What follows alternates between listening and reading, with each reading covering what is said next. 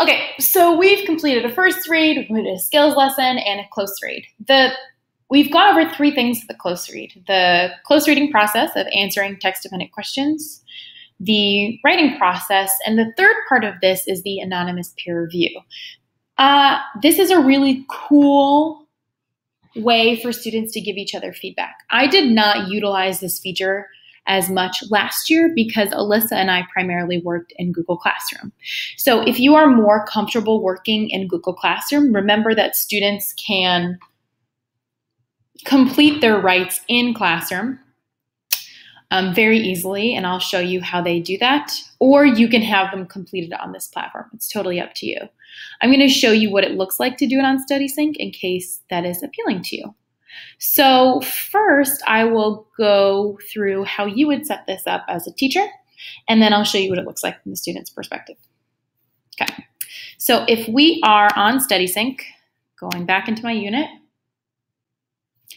back into the instructional path and let them play God. Got this close read and have this button assign. So I click the assign button whenever I want to assign an assignment to my students. So let's say I'm pushing it out to my Stonehill eighth graders. I change the dates for when I want things to happen. I've got my skills questions. I can attach my access handouts so students can refer to them. And then I also click on my prompt or I change it in here. So I'm going to focus on this part for right now. All right, so you got that whole part and then you have this peer review. It comes with a default review prompt with some guiding questions. You can keep this default review prompt or you can ask students to give feedback on something more targeted. So say you want them just to look at thesis statements. You would delete all this basically and type in whatever you want students to look at. So maybe you say, what specific suggestions can you help to make the writer improve? What did they do well? And was their thesis statement? All right. So students will follow these prompts and then you can also select your rubric. So you can see that there are a whole bunch of different preloaded rubrics here. There's even a thesis statement rubric. Or you can create your own rubric.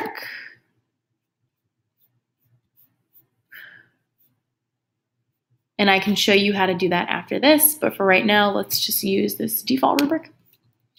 And you can change the number of reviews requested. So if you want one student to review one other student, or you want each student to review five other students, you just put in that little number and then click create. Okay, your assignment is there. It'll show up in your students' assignments and they'll be ready to go. Now I'm going to show you what it looks like from a student's perspective. Um, okay, so once again, we have this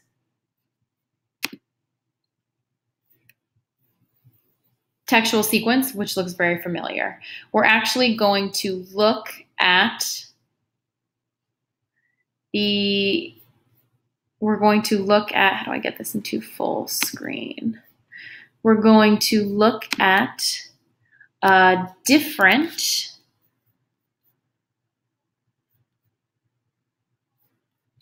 we're going to look at a different text sequence, but it will be the same idea as far as what it looks like to do a peer review from a student's perspective. Okay, so Here's the prompt. Students write, write, write. When they're done, they click submit and it'll say assignment submitted. And now I move on to reviewing my peers' work. You can change the date to give students one or two days to do this. Um, that's up to you. So what will pop up is another student's work. So here, let's say this is my friend's work. I don't know it's my friend because it's anonymous. I'm going to read it.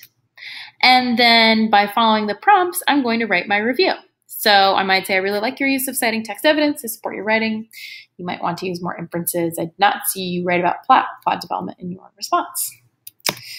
And then I can also rate it. So this is where the rubric comes in hand. So say these are the three elements of rubric. I give a student a score of one to four.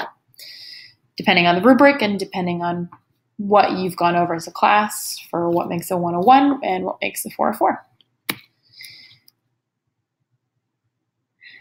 The other option is to do this on the Google Doc platform. So if you don't want to do this the way we just went over in StudySync, um, which is really cool, you could also tell students to just open a new Google Doc and share that Google Doc with you and each other if you would prefer to use that platform.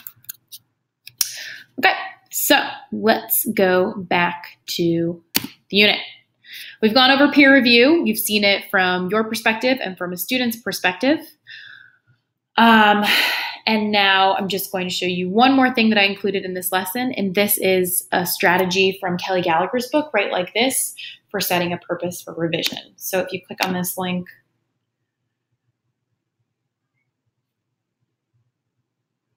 this is a cool way to teach revision to your students. Um, it's a strategy called Radar, and basically, Kelly Gallagher sets a purpose for revision by showing them a picture of his house before renovations and after renovations. And students are asked to see, you know, what did renovations mean exactly? What what did a revision do?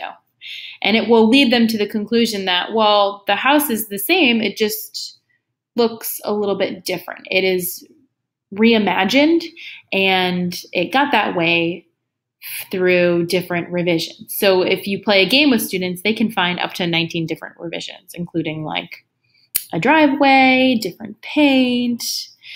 There are 19 that they can find. So it's kind of a cool game.